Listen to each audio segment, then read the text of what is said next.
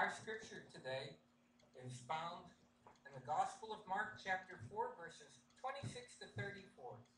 Hear the word of God. He also says, This is what the kingdom of God is like. A man scatters seed on the ground. Night and day, whether he sleeps or gets up, the seed sprouts and grows, though he does not know how. All by itself, the soil produces grain, first the stalk, the head, then the full kernel in the head. As soon as the grain is ripe, he puts the sickle to it, because the harvest has come. Again he said, What shall we say the kingdom of God is like, or what parable shall we use to describe it?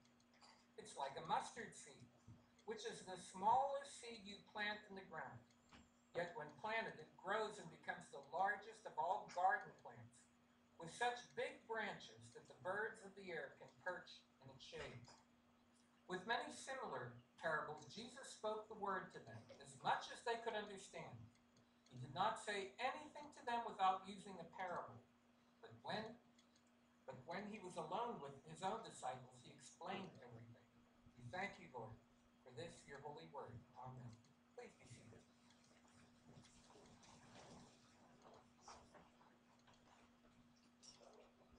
One of the things that Jesus taught us is that there are two kingdoms around us. There's the kingdom of this world that we're living in, and there's the kingdom of God, which his people are living in. All around us, we see the kingdom of this world. There's politics, and there's the social kingdom, there's the moral kingdom. But we are invited into the kingdom of God. And here's what the Bible says The kingdom of God is as if someone would scatter seeds on the ground and would sleep and rise day, and the seed would sprout and grow. He does not know how. The earth produces of itself first the stalk, then the head, then the full grain in the head. But when the grain is ripe, and once he goes in with his sickle, because the harvest has come. Think of this Jesus tells us to plant his kingdom so that it can grow. We're to plant the seed, we're to water. Many of you are in the process of growing gardens. And you know how that is. You have to plant the seed, you have to water the seed, and then you watch. And you watch God bring forth uh, how that the, the plants grow and flower. Well, it's the same in Bible school. This week we're called to plant the seed of God in our community's children that they may know Christ Savior. Vacation Bible School can be compared to gardening because here we plant and we water and we watch God's kingdom unfold. The purpose of Vacation Bible School is to help parents who want the very best for their children. Think of this. A child is like a growing plant that needs watering. And parents provide the physical watering and the, the uh, emotional nourishment. They give their children um, safe homes to live in. They give them new showers to shower in. The children also need uh, uh, to be provided with the seed of God's kingdom. They need to be introduced to Jesus Christ. They need to know that He wants them to invite Him into their hearts. In other words, children need a Christian education. They need that invitation into the kingdom of God. They need to know that God made them. They need to know that God loves them. And they need to know that God wants them to do well with their lives. Children need to know God. They need to know that God provided His Son to save us from our sins. And we have, for many years, more years probably than we can remember, Sunday school that goes on in this church. And there's faithful children who have come out and got a Christian education here. And their children in church, they're, they're learning, they're watering. God is watering His seed which has been planted uh, as we come to Sunday school and come to worship. Our children, they have so much information that they're expected to know, but they need to know the gospel as well. Vacation Bible School is our evangelistic opportunity for Christian children to invite their, especially their unchurched friends, to know the Lord. This week, these children are going to be invited to know that, that God wants them to have a heavenly home. And Jesus said it's just like planting a seed. You plant a seed with hopes that it will sprout and provide good fruits. Jesus said his kingdom's like planting a mustard seed, so tiny and so small.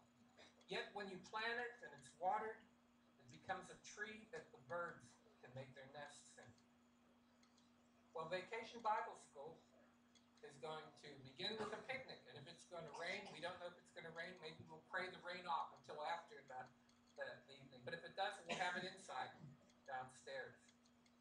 But we're to invite our community's children and their parents to come to this picnic.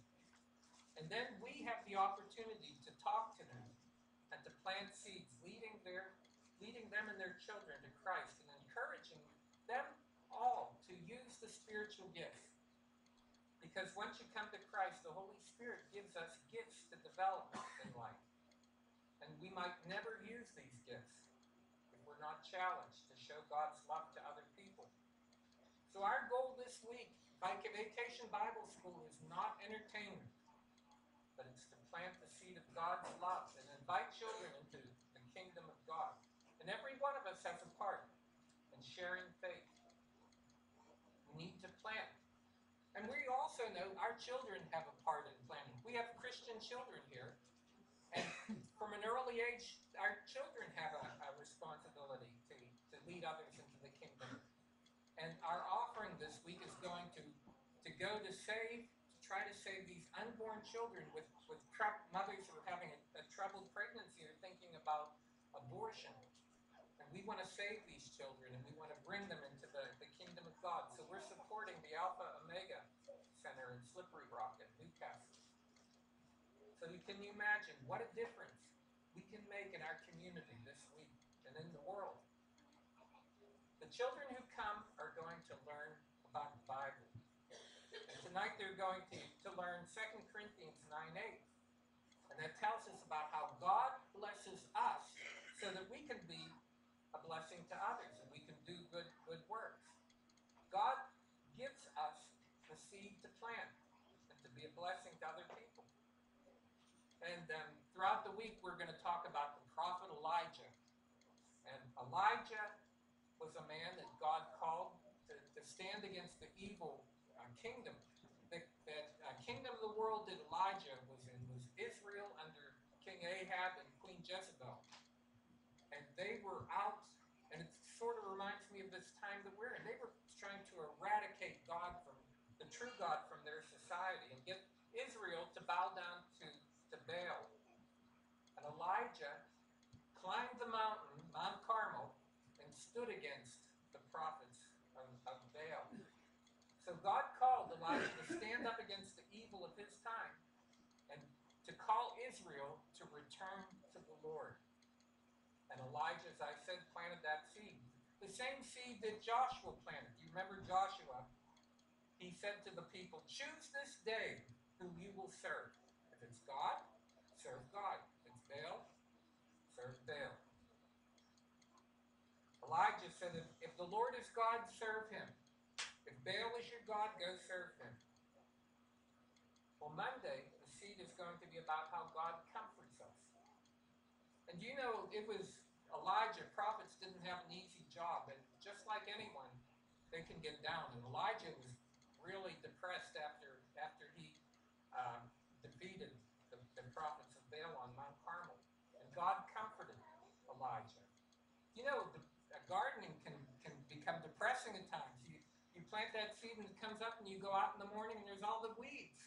You say, oh my goodness, do I have to weed again and again and again? Yes.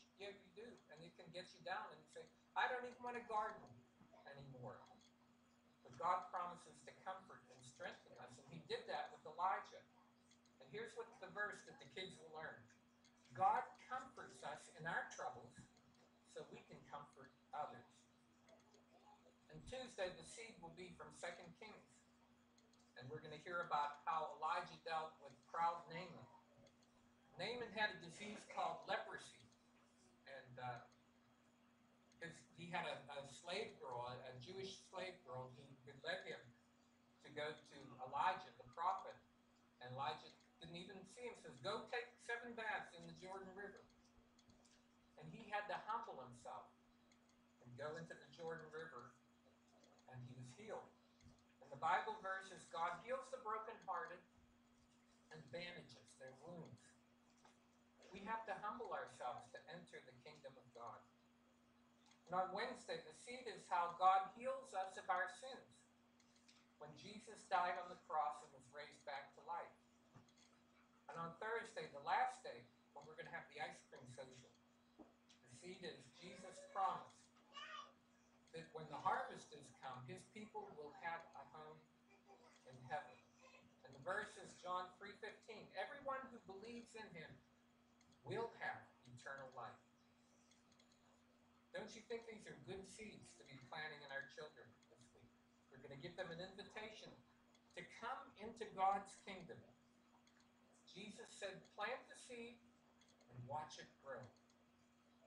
We do that with our gardens. I, I was so pleased. Uh, we're not that good at gardening, but my sister-in-law gave us some cannas bulbs, and we, this is what the third year, and we plant these. We have to dig them up every year and store them in the garage, and that's probably not the best place for them because you're not to, to freeze. But we take them out and we plant them, and we watch these huge plants grow, and it, it's so so uh, satisfying to watch the beautiful flowers, and then come the hummingbirds, and to uh, to watch the hummingbirds. But you know you have to water those things, and you have to weed, and you have to protect them from vermin, and finally you have to to uh, at the end that was uh, some that was heartbreaking in the fall. You have to cut down the stalks and dig those things up, and then put them back in the back in the garage until uh, next year, the harvest. But then you gather them up with the hope that next year you're going to have another great harvest. God wants us to plant His garden in the midst of His kingdom. But there's another kingdom that's around us.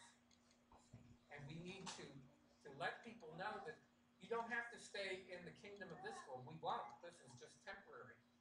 God offers us an eternal kingdom. And we need to plant the seed of the gospel and water it by talking to people about Christ and then watching God work before our very eyes. Jesus spoke of two kingdoms. And in that day, that kingdom of this world was the Roman Empire.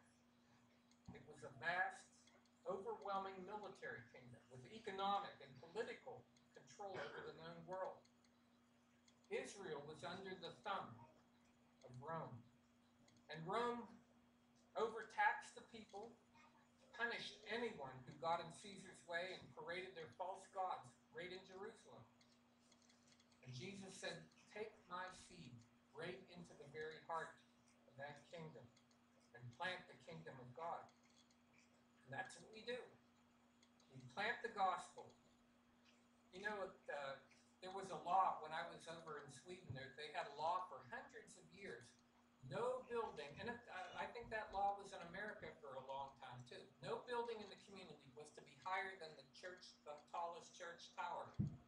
And you look at a, a church tower, that church tower is like a finger pointing people to God. So whenever you see a church tower, that's what the, the original symbolism was, pointing a finger to God's. And by doing that, we water, we provide, we comfort, we heal, and we lead people to get ready for that great harvest. And along the way, we're going to have to deal with, with the weeds. If you're gardening, you know those weeds seem to grow faster than the, than the good the good stuff. And in our world today, Satan is actively planting his weeds, trying to lead people away from the kingdom. For example, here's here's some things that you hear every day that you don't realize the full implications of. They're trying to teach our children to be religiously neutral. And what does religiously neutral mean? It means you're to act like an atheist in the public sector. You're good, you're to deny, you're going to hide that there's a God. That's what religiously neutral means. And then they were to teach everybody, be inclusive, be inclusive. Well, that means let the weeds grow up among the wheat. Uh, but when the harvest comes, what the what uh, is going to happen? Jesus said, "Is his wheat gathered into the barn, and the tares are gathered and burned." How many people realize that they need to be let out of the kingdom of weeds into the kingdom of wheat? You ask someone to church, you ask the child to come to Sunday school. They say, I can't come, I have a game, I have a hobby. Anyway, worship is boring. What they're saying is the kingdom of this world has a lot more appeal to me than the kingdom of God. Means I have so much time invested in the kingdom of this world that I don't have enough time to give to the kingdom of God. There's so many activities and things that people think are more important in a child's life than the kingdom of God. But remember, Jesus said you can't serve both God and mammon. And when the harvest comes, many people are going to be surprised because the kingdom of this world passes away. We see it every day, it's passing away. Only the kingdom of God is going to last forever. And at the last judgment, God's seed will be gathered into the barn, chaff will be, be thrown away. Lastly, note that it's God who's going to do the harvesting. We're only called to do the planting. We take God's seed, we plant it, and we watch. And God's going to gather the harvest. So this week we're going to be planting God's seed. God's provided us the seed. It's called His Word. He's given us His Holy Spirit to water children into the kingdom of God. So here again the seed that we're to plant this week. One, God provides for us. Two, God comforts us. Three, God heals us. Four, God saves us. And five, God will harvest us.